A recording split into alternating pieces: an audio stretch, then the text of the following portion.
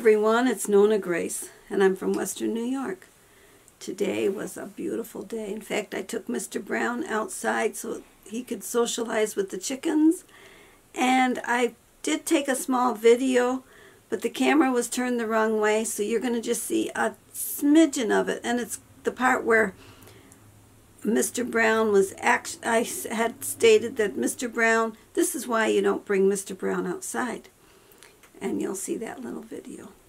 We'll put that in, and not just yet because I'm going to put in first. First, we're going to put in um, the finished look of the car.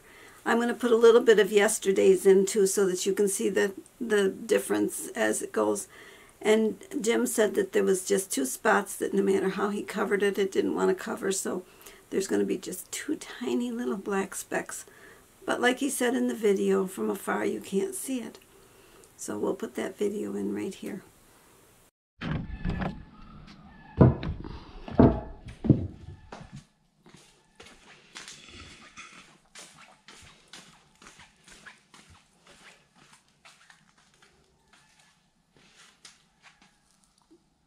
This is the before buffing. You can see I scraped it quite a bit.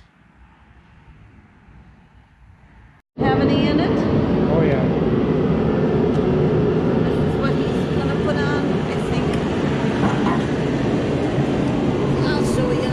Oh, this light, lighting, this sunshine. Look at that. Ooh, magic. I will come out after you're done to show. Looking better, but it's not done yet. I got it buffed out and got some wax on it. It doesn't look too bad to me. There's still a couple black spots in there. I really can't get rid of those. For what I see, looks pretty good. Really can't notice unless you get real close like this. Then you see the black spots, but other than that, I would say from a distance, nobody's going to see it.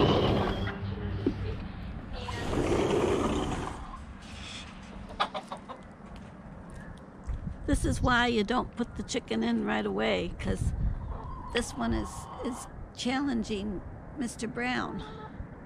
They they're, they were pecking at each other, trying to anyways, through the gate, through the fence. Mr. Brown is kind of staring, and here comes another one to check her out. Oh, and she's telling her, no, don't you do that. That's not nice. That's my buff. Now, what's my buff going to do?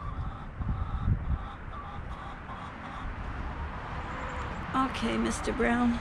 Now do you see why I don't put chickens where the chick with the chickens right away? You can't do that. They will they will fight. In fact, I wish I would have caught where they were actually jumping and trying to get each other with their with their feet and their bodies were and their necks were stretching real tall but as soon as I went out, they kind of all went away. They were all there for a while. And as soon as I go outside, they kind of move away or they come to see what I'm going to bring them. Well, this time I was able to catch little lady, or not little lady, but mm-hmm. Mr. Brown. Little lady was out there earlier with Mr. Brown. It's like, does she recognize him? I often wonder. Or does he recognize her? Because she's the same and he he's grown. She's grown. I know i just got lost with my yeah. talking. So i guess we're going to say goodbye. Bye bye